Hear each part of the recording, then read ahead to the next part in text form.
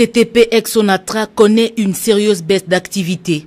Les ports restant la principale source de recettes, situation qui explique les difficultés que traverse cette entreprise de l'État. Tableau exposé au Premier ministre Ilunga Ilunkamba par le directeur général intérimaire de cette entreprise. J'étais agréablement surpris de constater que le Premier ministre est au courant des problèmes de la SCTP. Pour pallier cette situation, la direction générale de la SCTP entend diversifier ses activités commerciales, ferroviaires et fluviales.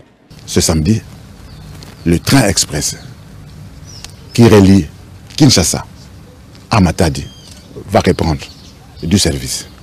Le bateau Kokolo va lever l'ancre, va quitter Kinshasa pour la ville de Kisangani le 11 octobre 2019. Que ceux qui ont du tonnage, que ceux qui veulent partir à Kisangani puissent contacter notre direction commerciale